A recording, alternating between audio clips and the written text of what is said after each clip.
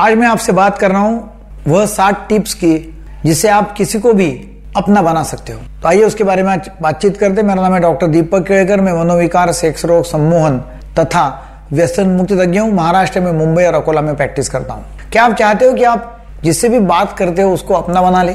कोई भी चाहता है ना? मगर उसके लिए ऐसा कोई टेक्निक नहीं है कि वो आप करे और हो जाए। देखो, आप कोई दुकान में जाते हो और आप उसको मंग रहे कि मुझे पैंट चाहिए और आपको शर्ट ला बता रहा है। आपको इंटरेस्ट आएगा। बिल्कुल ही नहीं। आपको जो चाहिए, वो बता रहा है तो इंटरेस्ट आएगा। सामने वाला कितना भी सेल्समैन बहुत ही कॉन्फिडेंस वाला हो, बहुत ज़्यादा कॉन्फिडेंस उसमें है, बहुत अच्छी स्टाइल में बात करता है, आपको बहुत इंप्रेस कर रहा है, मगर आपको जो चाहिए, वो नहीं बता रहा है तो फ़ायदा क्या है? उसके साथ में आप कम्युनिकेशन करेंगे नहीं, वहाँ बंद हो जाएगा। बोले मुझे पैंट चाहिए, आप शर्ट बता रहे हो। तो आपको किसी को भी अपना बना लेना है, अपनाना है इंटरेस्टिंग बनाना है तो फिर आपको क्या करना पड़ेगा? उसको क्या चाहिए वो देखना पड़ेगा। उसको कौन सी इसमें इंटरेस्ट है देखना पड़ेगा। और जब आप देखते हैं कि उसको समझना पड़ेगा कि उसको क्या चाहिए, उसको कौन सी बात में इंटरेस्ट है, उसको कौन सी, किस तरह की उसकी अंडरस्टैंडिंग है, जो भी है तो आपको क्या करना पड़ेगा? सुनना पड़ेगा। सुनना चालू करना पड़ेगा। तो सबसे पहला, नंबर एक, आप अनबायास बन के किसी को भी सुनेंगे। अनबायास मतलब कोई भी पूर्वग्रह दूषित नहीं। कुछ भी उसके बारे में पहले से ही दिमाग में न लाते हुए सामने वाले को सुन रहे और वो जैसा बोल रहा है, वैसा सुन रहे उसको कोई भी अर्थ नहीं लगाना, कोई मीनिंग नहीं लगाना। और वो जैसे ही मतलब वो बोल रहा है, वैसे ही सुन रहा है उसको। और उसको कुछ भी नहीं लगाना है मतलब। कुछ भी बायस नहीं है टोटली अनबायस ताकि वो जो बोल रहा है, वो आप पूरा अंदर लेंगे और आप समझ लेंगे कि वो क्या बोल रहा है। और उसको भी वो समझ में आ जाएगा। आपके देह बोली से, आपके, आप जिस तरह से उसको सुन रहे हैं अनबायस वैसे उसको में कि ये ये बंदा आपको समझ रहा है। अपने को समझ रहा है, ऐसा उसको लगेगा। तो ये नंबर एक है। नंबर दो जब वो बातचीत कर रहा है तो आप उसको क्वेश्चन पूछेंगे, और वो भी इंटरेस्ट के साथ में। मतलब ऐसा नहीं कोई इंट्रोगेशन करना है, या उसकी कोई मतलब उसको प्रोसेसिंग करना है। वो हिसाब से नहीं, जैसा इंटरेस्ट है। हाँ अच्छा आपका मतलब ये, फिर आप कहाँ गए थे? अच्छा फिर आपने वो किया, फिर बाद में क्या हुआ? मतलब इस तरह से आप सवाल करें, ताकि उसको लगता है कि सामने वाला बंदा जो है, वो इंटरेस्ट लेके सुन रहा है, क्योंकि आप क्वेश्चन पूछ रहे हैं, और वो क्वेश्चन रिलेवेंट है जिसके बारे में वो बातचीत कर रहा है। तो क्वेश्चन से उसको भी इंटरेस्ट आता है और वो कम्युनिकेशन में बहुत मज़ा आता है। तो आप नंबर दो क्वेश्चन पूछेंगे। सामने वाला जब बोल रहा है तो आपने उसको बार बार वो, जब वो बोल रहा है वो समप करना है। मतलब जो भी कुछ बोलता है तो आपने बोलना अच्छा आपने ये बोला, इसका मतलब ये है ना? और ऐसा करके जो बोल रहा है वो आप जब समअप कर रहे हैं, उसको रिक्रिएट कर रहे हैं तो उसको लगता है कि हाँ इसको समझ में आ गया क्योंकि आप जब लिसन करेंगे, सुनेंगे और बाद में जब उसको रिक्रिएट करते हैं, बाद में वही बोलते हैं मतलब उसका वही निकलना चाहिए, अलग मतलब नहीं निकलना चाहिए। तो जब आप उसको मतलब दोबारा वो रिपीट करते हैं समअप करते हैं रिक्रिएट करते हैं तो उसको लगता है कि हाँ समझ में आया। और फिर उसको बोलने में बहुत इंटरेस्ट आता है। क्योंकि आप उसको, उसके बोलने में इंटरेस्ट ले रहे हैं, वो भी फिर इंटरेस्ट से आपसे बात करेगा और उसको बहुत मज़ा आ जाएगा। देखिए, जिसको, जो व्यक्ति को आपके साथ में रहने में, आपके साथ में बोलने में, बातचीत करने में मज़ा आ रहा है। वो तो आपको लाइक करेगा, वो आपकी कंपनी बार बार बार बार मांगेगा, और वो आपका हो जाएगा। तो उसको रिक्रिएट करने का समअप करने का है रिपीट करने का है, और वो भी इंटरेस्ट के साथ। फिर चौथा है कि जब कोई व्यक्ति बोलता है और आपको कुछ तुरंत रिएक्शन देने की नहीं है, समझो सामने वाला कोई पूछ रहा है तो आपने थोड़ा पॉज लेने का है मतलब सुनने का है, थोड़ा समअप करने का है, और समअप करने के बाद में फिर आपको जो भी कुछ जवाब देना है, वो देने का है। इससे होता क्या है कि आप उसको रिएक्ट नहीं कर रहे आप सोच समझ के जवाब दे रहे हैं तो थोड़ा सा पॉज लेना है। पॉज लेके ऐसा मतलब बताना है कि भाई मैंने पूरा सुना है और फिर सोच के उसका जवाब देने का है, ताकि वो रिएक्शन में जवाब नहीं आएगा रिएक्शन मोड में जवाब नहीं आएगा।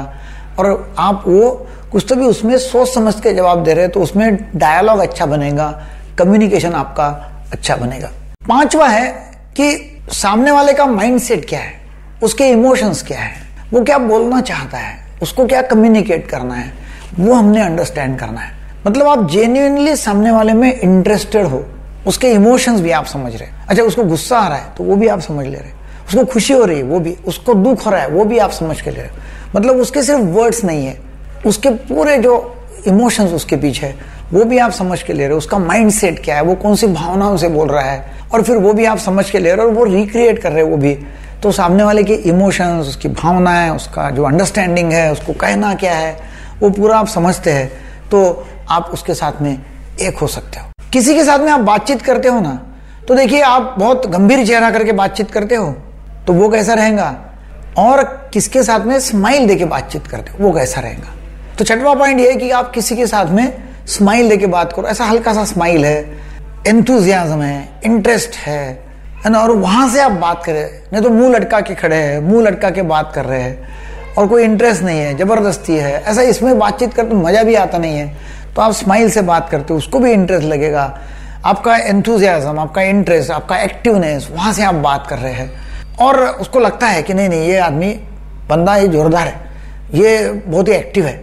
और उससे भी आपका इंप्रेशन अच्छा बनेगा और वो भी आपसे बात करना चाहेगा। तो ये छठवा पॉइंट सातवां पॉइंट ये है कि आप उसको जब बातचीत किसी के साथ में करते हो तो आप उसको ओपन एंडेड क्वेश्चंस पूछते हो। मतलब ऐसे क्वेश्चन पूछना है कि जिसका जवाब हाँ या ना में नहीं है। जब आप उसको सवाल पूछते हैं और उसको आपने बोला, आप वहाँ चलोगे?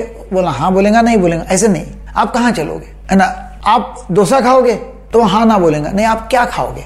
तो ये ओपन एंड क्वेश्चन हो गया। मतलब जो भी आप बातचीत जब करते हो कम्युनिकेशन करते हो तो आपको तभी ओपन एंडेड क्वेश्चन पूछना है। ओपन एंडेड क्वेश्चन मतलब जिसका भी जवाब हाँ या ना, इसमें नहीं है। क्यों?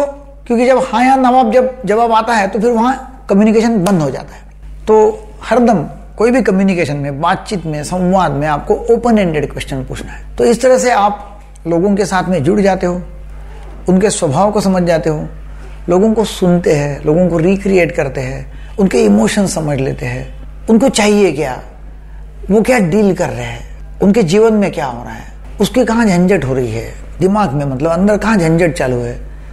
एक्चुअली तो आपको समझ में आ जाएगा कि भाई नहीं, वो व्यक्ति जो है ना, आप मतलब जिसके साथ में आप बातचीत, उसको समझ में आ जाएगा कि नहीं यार, ये मेरे में सच्ची इंटरेस्टेड है। तो एक मेरा कर्मचारी है तो वो मुझे लग रहा काम नहीं कर रहा है, काम नहीं कर रहा है तो उसके साथ में मैं जरा थोड़ा सा नाराज़ भी हो गया, थोड़ा गुस्सा भी किया, और वो कुछ बता नहीं रहा है। फिर मैंने जब उसके साथ में बैठा, उसको पूछा कि भाई हो क्या रहा है?